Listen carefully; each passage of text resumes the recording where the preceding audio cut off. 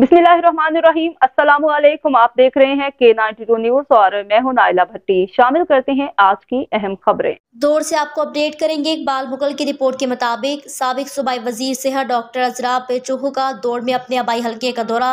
मुख्तलिफ़ अफराद से ताज़ियत के बाद मीडिया टॉक। आम इंतबात में भरपूर हिस्सा लेने का ऐलान। सबक सदर आसिफ अली जरदारी की हमशीरा और सबक सूबाई वज़ीर सेहत डॉक्टर अजरा फजल पेचोहू ने आज अपने आबाई हल्के दौड़ का दौरा किया। मुख्तलिफ़ अफराद से ताज़ियती की इस मौके पर मीडिया से बात करते हुए डॉक्टर अजरा पेचूहों ने कहा कि निगरान हुकूमत को ज़्यादा अरसा नहीं रहना चाहिए, क्योंकि वो आवाम के लिए ना तो कानून साजी कर सकती है, इसके इख्तियार भी महदूद होते हैं।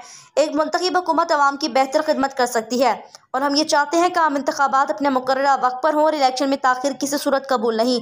अगर इलेक्शन में ताखिर नहीं की गई तो कानूनी और अवामी जद्दोजहद का रास्ता इख्तियार करेंगे। सबक सूबाई वजी सेहत ने मजीद कहा, हमने पहले भी सिंध की आवाम की खदमत की है। मुस्तबिल में भी खदमत का मिशन जारी रखेंगे। पीपल्स पार्टी शहीद बेनज़ीर भुट्टो की विजन पर अमल पैरा होकर गरीबों की खदमत में मसरूफ़ अमल है। उन्होंने कहा कि मैं पी एस सैंतीस से पी पी की उम्मीदवार हूँ। मजीद पार्टी के फैसले का एहतराम करूँगी।